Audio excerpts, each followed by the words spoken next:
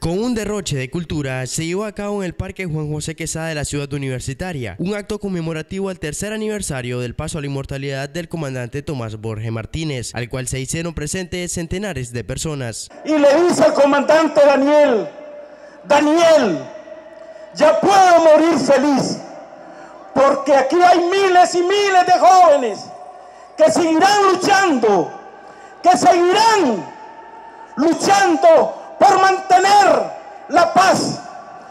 seguridad de este pueblo.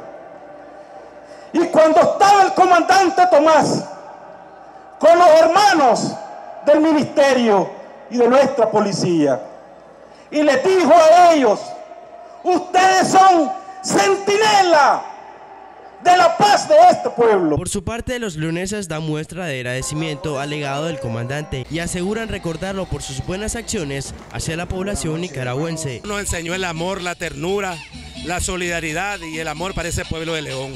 Entonces este acto es un pequeño pero merecido homenaje que los leoneses, la primera capital de la Revolución Popular Sandinista, estamos dedicando al comandante Tomás Borges Martínez. Es un legado que para nosotros es ejemplo, tanto como a los jóvenes militantes como a los jóvenes aspirantes que quieren formar parte de esta gran juventud sandinista. Con cámara de Jordan Herrera informó Jaime Narváez, Red de Jóvenes Comunicadores León.